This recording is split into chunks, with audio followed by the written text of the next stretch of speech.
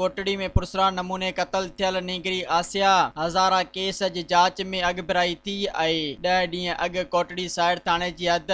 Mahmood Shah colony में बेदर्दी सां क़तल कयल आसिया हज़ारा जे क़तल केस जे मुख्य जवाबदार नवीद हज़ारा जी पुलिस गिरफ़्तारी ज़ाहिर कंदे मीडिया आॾो पेश पुलिस गिरफ़्तार जवाबदार जे कब्ज़े माँ ॿ वालियूं जूता पिण हथ करे वरिता आहिनि। S S P Jamshoro Mohammad Tariq Nawaz press conference कंदे सत अप्रैल ते शाम दारे आसिया गुम थी वई। टेलीग्राफ थाणे ते गुम थियण जी रिपोर्ट दाख़िल कई वई। अठ अप्रैल ते संदसि लाश बंदि पयल। जाइ जे कचरे माँ मिलियो हो, संदसि चवण हो त पुलिस मुसलसल जवाबदार जी गिरफ़्तारी लाइ छापा हया। नवीद हज़ारा गता मेड़ींदो आहे। वाक़े वारे ॾींहं खां फरार हो। एस एस पी ॼामशोरो चयो त सत ॾींहंनि बाद नवीद हज़ारा गता मेड़ींदे नज़र आयो, जंहिं दौरान खेसि गिरफ़्तार कयो। जवाबदार पुलिस आॾो ॾोह जो एतिराफ़ करे वरितो। मज़ीद ख़बरनि ऐं